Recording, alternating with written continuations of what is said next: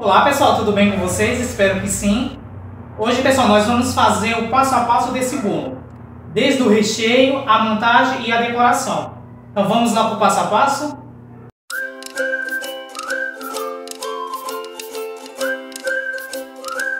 Já vamos preparar o nosso creme de pêssego. Que eu vou estar colocando 500 ml de leite. Vou estar colocando as 3 colheres de sopa de maisena uma caixa de leite condensado, 200 ml do caldo do pêssego.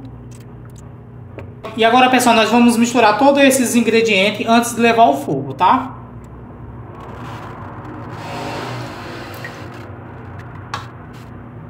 Vamos colocar as gemas na peneira para escorrer, tá? Ó, vamos deixar ele escorrendo. A gente só é balançar, ó. E aqui, pessoal, escorreu toda a gema, ficou só as películas em cima.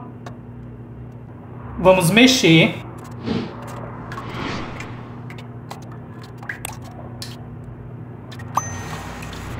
E aqui, pessoal, em fogo médio, a gente vai cozinhar aproximadamente 10 minutinhos, tá? Mexendo sempre para não queimar. Então, pessoal, eu vou mexer uns dois minutinhos. Quando ele começar a engrossar, a gente volta, tá bom? Para mostrar para vocês o passo a passo. Pessoal, nosso creme já começou a engrossar. E a gente vai mexendo, ó, pelas laterais. Para não grudar no fundo da panela, tá? E aqui, pessoal, vou ficar mexendo mais uns 10 minutinhos até engrossar e já já a gente volta. Nosso creme já está pronto. Esse é o ponto dele, ó. Quando ele esfriar, ele vai engrossar mais um pouco. Vamos mexer só mais uns dois minutinhos, tá?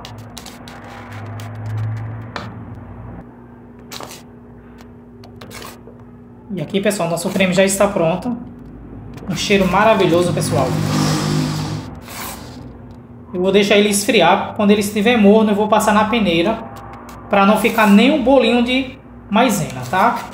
Às vezes acontece de ficar umas pelotazinhas de maisena, então é sempre bom a gente passar pela peneira.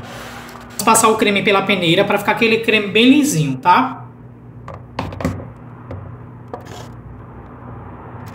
Aqui, ó. Vamos passar pela peneira.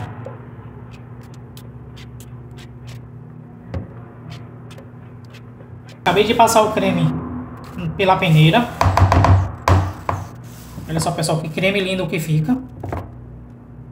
E o sabor, pessoal, maravilhoso. Um saquinho transparente. Vamos colocar em cima do nosso creme, ó. Vamos apertar.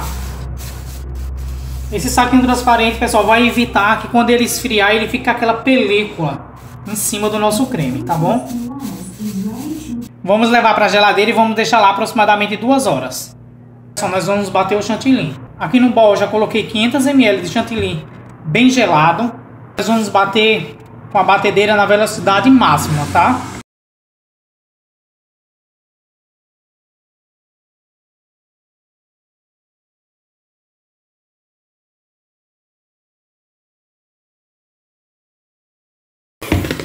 E esse, pessoal, é o ponto do nosso chantilinho.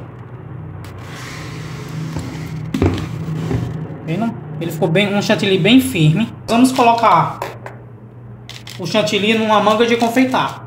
Aqui eu tenho uma matriz, pessoal, essa pra gente usar na hora que for trocar os bicos para decorar o bolo, tá?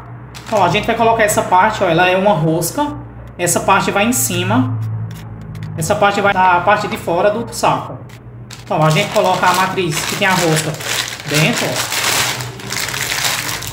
Aí aqui a gente pode trocar de bico quantas vezes quiser. Tá? A gente coloca dentro do dessa outra parte. E aqui, ó, a gente gira. Né? E agora vamos colocar o chantilly na manga de confeitar. Vamos fazer a montagem do bolo, tá? Aqui eu já piquei os pêssegos. Já coloquei o recheio numa manga de confeitar. E aqui também eu já bati um chantilly e coloquei numa manga de confeitar. A gente vai precisar de dois saquinhos transparentes. Que a gente vai colocar na forma para ajudar na hora que a gente for desenformar o nosso bolo. Ó, vamos colocar um saquinho. Vamos colocar outro. Agora nós vamos colocar uma massa embaixo. Aqui, pessoal, eu fiz uma calda com leite condensado e a calda do pêssego. Vamos molhar nossa massa, ó. Agora, pessoal, vou vir com o chantilly, vou passar em toda a lateral da forma. Que vai ser, pessoal, tipo uma barreira para nosso recheio não correr o risco de escorrer, tá?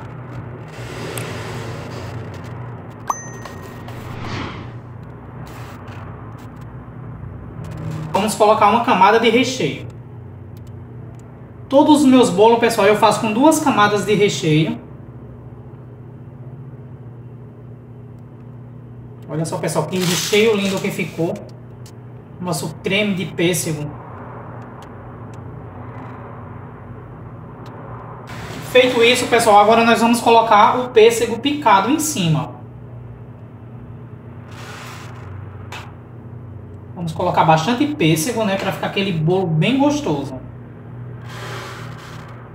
Aqui, ó, coloquei pêssego em cima, vamos colocar outra camada de massa.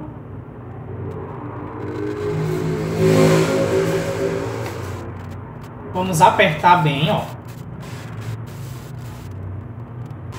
Colocar uma calda em cima para ficar aquele bolo bem molhadinho. E agora, pessoal, vamos repetir o mesmo processo, tá? Vamos colocar o chantilly na lateral.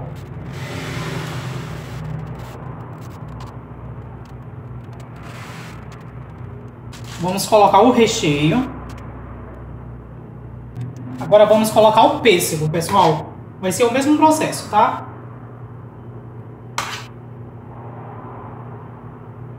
Vamos colocar a última camada de massa.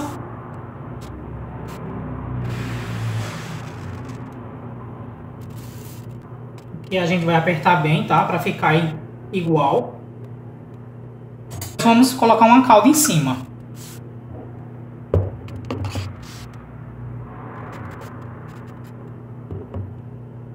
espalhar um pouco de chantilly em cima.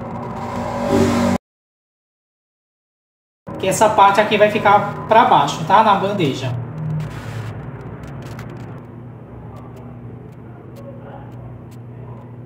Pessoal, nós vamos cobrir, ó, com um saco transparente.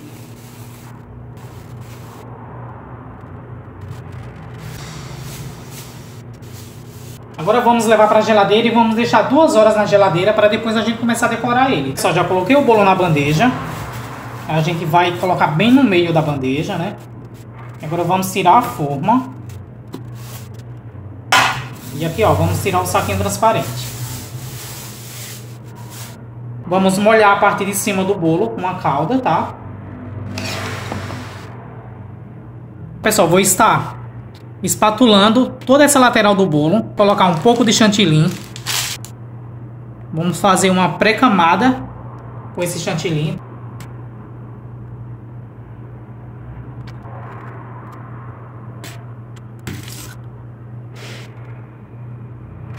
Em cima do bolo também, pessoal, vamos fazer uma pré-camada com chantilly.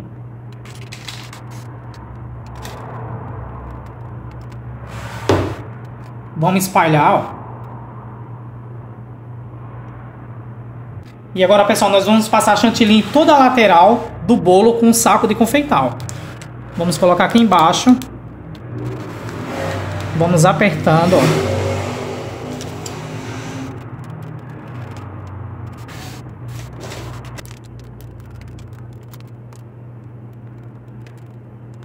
E aqui, pessoal, coloquei chantilly em toda a lateral do nosso bolo. Agora a gente vai fazer a parte de cima. Vamos colocar o chantilly nessa parte de cima do bolo.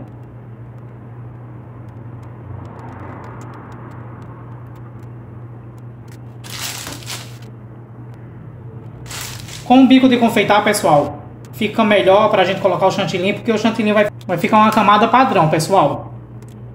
Não vai ficar nem muito alto, vai ficar tudo igual.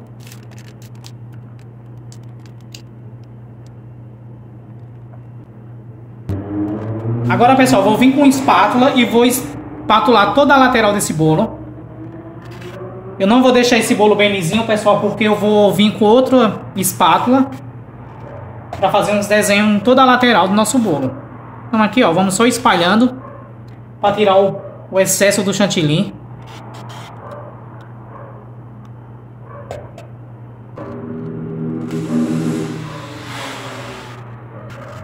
Na parte de cima do bolo também vamos espalhar um pouco chantilly, ó. Eu vou estar usando essa espátula. É o número 3, ela tem três lados. Eu vou estar usando esse lado médio para a gente passar em toda a lateral do nosso bolo. Então a gente ó, vai encostar no bolo e vamos passando. Ó.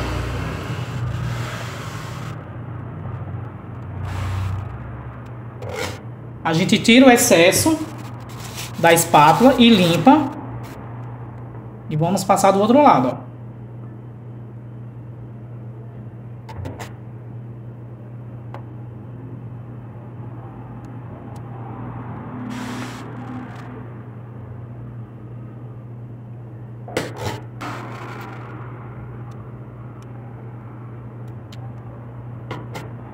Fiz toda a lateral do nosso bolo.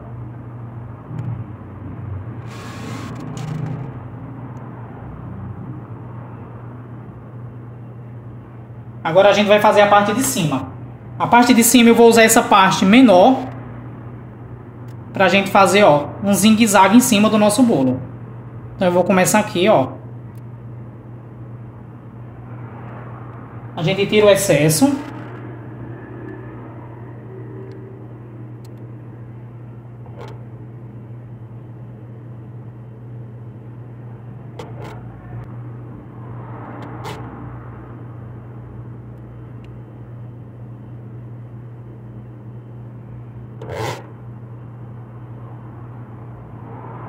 Já fiz a parte de cima do nosso bolo.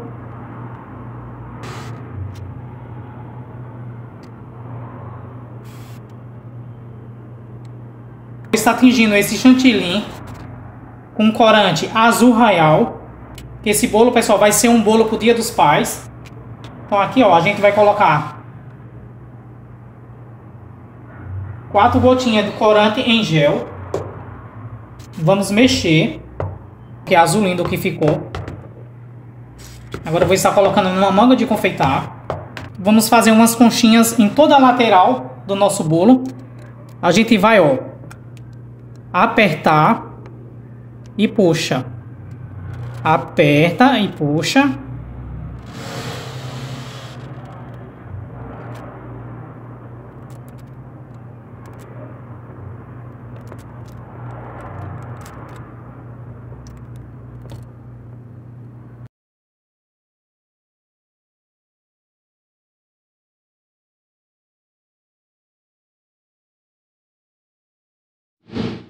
Feito isso, pessoal, em toda a lateral do nosso bolo, agora a gente vai decorar a parte de cima. Na parte de cima, pessoal, vamos fazer a mesma coisa, ó.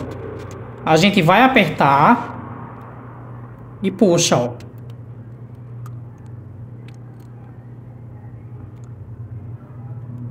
Esse bico, pessoal, que eu estou usando é o 4B da Mago.